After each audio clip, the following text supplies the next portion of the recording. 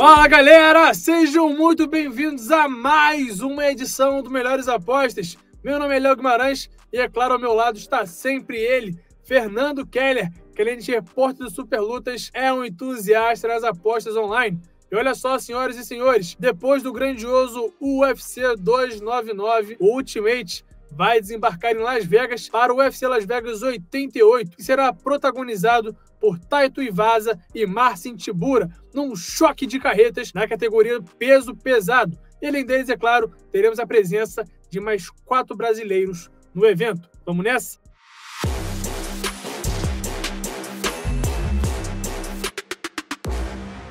E o Melhores Apostas é oferecimento da Stake, casa oficial do UFC. Para concorrer a grandes promoções e ficar por dentro do que acontece de melhor nos esportes, entre aí no link fixado nos comentários, faça seu cadastro usando o cupom SUPERLUTAS, tudo junto, e aproveite sempre com responsabilidade e sempre sendo maior de 18 anos. Você não vai perder essa. E antes de passarmos para os destaques dessa semana, vamos ver como o nosso time se saiu no UFC 299. Nas simples, acertamos três das cinco sugestões. Fomos com vitória de Shannon O'Malley por nocaute ou decisão, pagando 1,49. Luta com mais dois rounds e meio para Michael Page e Kevin Holland com odd de 1,52. E para fechar as simples, apontamos vitória de Matheus Ganro na decisão dos juízes contra Rafael dos Anjos, valendo 1,59. Ficamos no verde nas simples, mas o que pagou mesmo nosso churrasco foram as múltiplas. Casando as apostas de vitórias simples de Azul Almabaev, Robeles Despen, Matheus Ganro e Shannon O'Malley, a soma ficou em 2,63. E na próxima semana voltamos para ver como o time se saiu no UFC Las Vegas 88. Vamos conferir agora os destaques do card do UFC Las Vegas 88. Na luta principal, Taito Ivaz encara Marcin Tibura em busca de voltar ao caminho das vitórias. O Vincent Sampru realiza duelo de gerações contra Kennedy Enzuchuco. Thiago Moisés encara Mitch Ramírez, recém-contratado e que pegou a luta em cima da hora. Josiane Nunes tenta ampliar invencibilidade contra Chelsea Chandler. E Jafel Filho busca embalar segunda vitória na organização contra Odd Osborne. E agora chegou a hora de falarmos sobre a luta principal do UFC Las Vegas 88. Taito Vaza está em busca de voltar ao caminho das vitórias, está com sangue no olho, vem de três derrotas seguidas e vai encarar o décimo colocado no ranking, Marcin Tibura. Fernando, o que, que podemos esperar desse confronto? Você acha que o Tibura tem disposição ali para aguentar a agressividade, os chutes baixos e o poder de nocaute do australiano? É, Léo, a gente vai descobrir isso é, na luta principal do evento, mas a gente pode aqui prospectar algumas coisas e trata-se razoavelmente de um duelo de estilos, né? Um nocauteador nato, um peso pesado daquele raiz, trocador com a mão pesada, que é o Taito Ivasa. Do outro lado, o Tibura, que muitas vezes pode não agradar tantos fãs, mas tem mostrado um estilo eficiente, né? Vive uma fase muito melhor do que do adversário, por exemplo. O Ivasa vem pressionado com a corda no pescoço, com três derrotas seguidas. É verdade que tudo ali no top da divisão, né? Sergei Pavlovich, Cyril Gane, com quem ele fez um lutaço, inclusive, lá em Paris, e mais recentemente o, o Alexander Volkov. Enquanto Tibura são sete vitórias nas últimas nove lutas. Perdendo também só para fera. Perdeu para Volkov e a última luta contra o Tom Aspinall, é, atual campeão interino. Mas se a gente pega o nível ali de competição, as vitórias do Marcin Tibura é tudo do ranking dele para baixo. Nunca pegou alguém ali de cima, da parte de cima da categoria, e venceu. É o octógono do Apex, que é menor, são cinco rounds, o que maximiza uh, o tempo ali para o Tuivasa encontrar uma mão e pode ser o suficiente, porque se a gente pega o, o Tibura, das oito derrotas que ele sofreu na carreira, foram cinco nocautes. E o Tuivasa a gente sabe, né? 14 vitórias, 13 nocautes, mão de pedra que derruba qualquer um se pegar. Não tem pego nos últimos adversários, mas acho que em relação a Seriugani, Pavlovich Volkov, o Tibura é um oponente muito mais acessível, com todo respeito aí ao lutador polonês. Então, respondendo a pergunta, eu tô confiante que o Tuivasa vai reencontrar o caminho das vitórias. É, é, a luta, não diria perfeita, mas assim, é uma luta ideal para ele conseguir reencontrar é, o caminho das vitórias. É um adversário que é nocauteável, ele é um nocauteador, É um octógono pequeno é, e tá com a corda no pescoço, vai ter que, vai ter que dar os pulos dele para conseguir essa vitória. Então é um duelo equilibrado, um duelo de estilos. É, conforme a luta for avançando é, em, direção ao quinto round, vai favorecendo o Tibura, que está mais acostumado a levar lutas para decisão, faz a luta suja, faz a luta feia, amarra a luta se for necessário, né? não tem vergonha de usar qualquer artifício ali dentro da legalidade para vencer a luta. E, e o Tuivasa tem que confiar mais no poder da mão e quem sabe numa vitória mais rápida. Mas eu estou confiante que o, que o Tuivasa, que o Bambam recupere a boa forma e consiga sair com a vitória. Taito Ivasa conquistou 13 das 14 vitórias da carreira por nocaute. Foi para decisão dos juízes apenas duas vezes em 20 lutas profissionais. Seis das últimas oito lutas duraram menos de um round e meio. Marcin Tibura venceu sete das últimas nove lutas mas vem de derrota para Tom Aspinall. Das oito derrotas da carreira, cinco foram por nocaute. Sete das últimas nove lutas duraram mais de um round e meio e seis chegaram na decisão dos juízes. Vamos falar agora de Thiago Moisés, que vai retornar ao octógono e vai encarar um estreante. Na verdade, o brasileiro estava escalado para medir forças contra o Brad Riddell, mas o australiano acabou saindo do confronto. E aí o Mitch Ramirez, que veio do LFA, foi escalado para sua estreia de ouro no Ultimate. Fernando, te pergunto, ele foi escalado ali próximo do dia 1 de março, um pouco antes, um pouco depois, e agora vai ter que enfrentar a pedreira do peso leve, Thiago Moisés. Ele está entrando como azarão nas casas de apostas. Então eu te pergunto, é justo essa cotação? O brasileiro de fato é o favorito para vencer o confronto? Sem dúvida, Léo. É, seria loucura que a gente não botar o Thiago Moisés como favorito, por ser um cara já experiente dentro da organização, um cara acostumado a lutar contra os melhores. Se a gente pega assim, desde 2018, as derrotas do Thiago Moisés no UFC é só pra fera. Benil Dariush, Damir Magulov, Islam Makhachev, ninguém menos, né?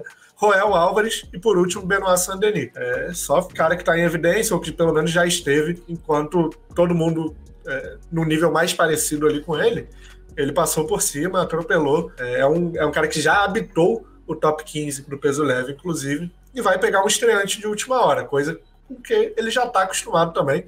No UFC 283 no Rio de Janeiro, ano passado, por exemplo, ele pegou o Melquizael Costa, que naquela ocasião também assumiu a luta ali com pouco tempo de antecedência e, e acabou finalizando o, o, compatriota. Quanto ao Mitch Ramirez, essa é a terceira chance que ele tem de estrear no Ultimate de fato. Essa vai se concretizar pelo visto. Ele foi escalado para o The Ultimate Fighter lá do, do Conor McGregor com Michael Chandler inicialmente escalado, mas quando o McGregor chegou, trouxe a galera da equipe dele e teve que dispensar alguns lutadores que estavam previamente escalados, e nessa o Mitch Ramirez acabou rodando. Ele também participou do Contender Series no ano passado, mas foi nocauteado pelo brasileiro Carlos Prates e perdeu a chance de entrar na organização.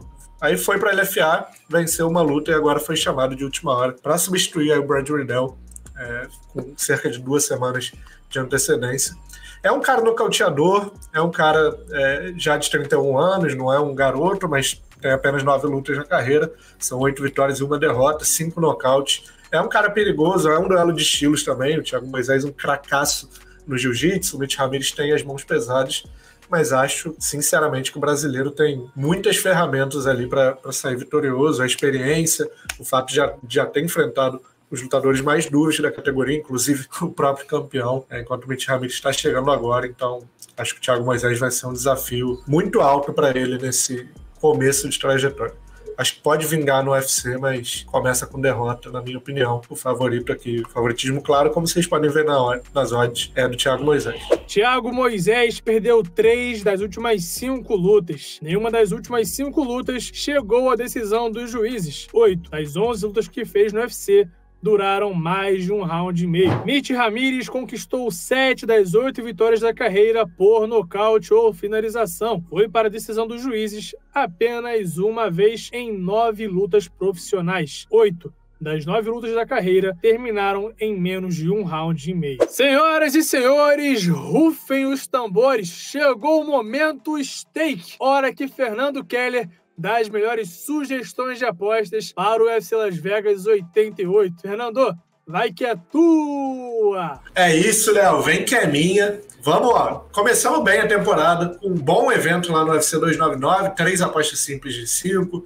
aposta múltipla batendo, que é ótimo para esse começo de temporada. Por pouco não foi melhor. O Gilbert Durinho, que era a nossa aposta de valor, estava vencendo ali até o final do terceiro round, até o terceiro round, na verdade, quando entrou a joelhada do Jack Della Madalena. A gente acabou perdendo essa, mas foi um bom evento pra gente, foi lucrativo. E aqui a gente vai tentar melhorar nesse UFC Las Vegas 88. E a gente já começa na luta principal, jogando o jogo. Taito Vaza por nocaute ou finalização contra Marcin Tibura, pagando 1,97.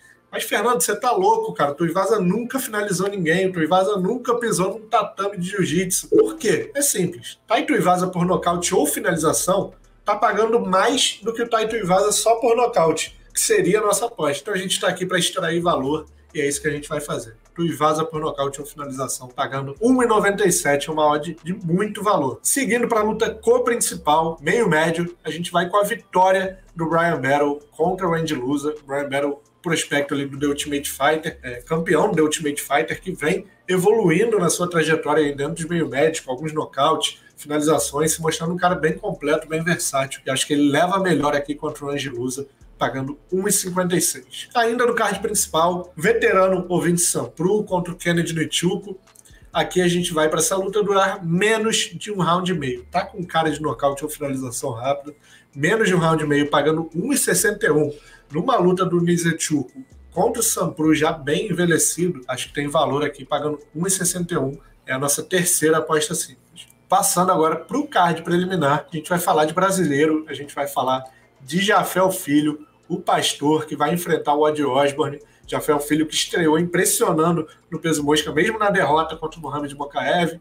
É, depois venceu o Daniel Bares numa finalização rápida no primeiro round e acho que ele leva melhor aqui contra o Odd Osborne. A odd para a vitória do Jafel é 1,56. E para fechar a luta aqui que a gente analisou, Thiago Moisés e Mitch Ramírez, pagando é, para durar mais de um round e meio, pagando 1,63. As lutas do Mitch Ramírez costumam ser rápidas quando ele vence. O Thiago Moisés já tem uma tendência a não ser tão fulminante assim. Acho que o Thiago Moisés é favorito, mas não deve ser uma luta tão rápida. Até acredito que ele consiga a finalização, mas acho que vai ser depois da metade do segundo round. E por isso essa aposta aqui pode 1,63 para durar mais de um round e meio tem valor para fechar as nossas apostas simples do UFC Las Vegas 88. E a gente fechou as nossas apostas simples apostando aqui na luta do Thiago Moisés e vamos abrir nossa múltipla também com ele, começando com a vitória do Thiago Moisés. Aí não importa se é finalização, se é nocaute, se é decisão. Se ele vencer, a gente começa ganhando aqui nossa múltipla, pagando 1,23 na vitória do brasileiro. Seguindo, mais um lutador que a gente vai apostar na vitória aqui é o norte-americano Mike Davis, ele que enfrenta o Nathan Levy é, na divisão dos leves. Mike Davis é um cara muito bom, deveria ser mais ativo. A única derrota dele no UFC foi pro Gilbert Durinho lá em 2019. De lá para cá lutou só três vezes, mas na última luta impressionou, né? Ganhando do bom Vyacheslav Borchev, é, mostrando que ainda é, tem lenha para queimar o Mike Davis, mesmo não sendo tão ativo. Acho que ele leva melhor, é bem favorito aqui contra o Nathan Levy, pagando 1,28. Outra vitória que a gente vai apostar é no Gerald Merchaert, lutando contra o Brian Barberina. Merchaert, um cara é, finalizador nato, um cara muito aguerrido também. Tem tudo para ser uma guerra, tem tudo para ser uma das lutas mais divertidas aí do card, mas eu confio na vitória do Gerald Merchaert, pagando 1,42. Seguindo, com a luta feminina ali do card principal, Macy Tierson e Panic Anzade. Você fala desses dois nomes, você pensa no quê? Decisão dos juízes.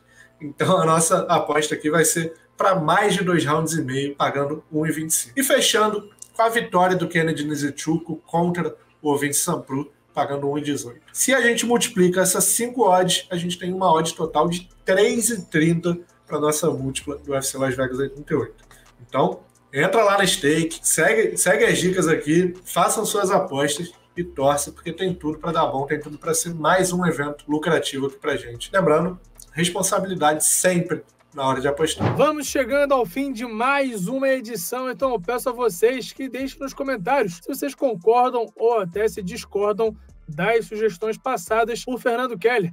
Lembre-se sempre que o espaço é aberto para todas as opiniões. Vai lá na Stake, que o link está fixado aqui nos comentários. Faça sua aposta com responsabilidade. Aproveite esse vasto mercado que a Stake proporciona para nós, fãs de apostas. E, claro, aposte com responsabilidade, sempre sendo maior de 18 anos. Bom evento a todos, boa sorte. e até a próxima edição. Valeu!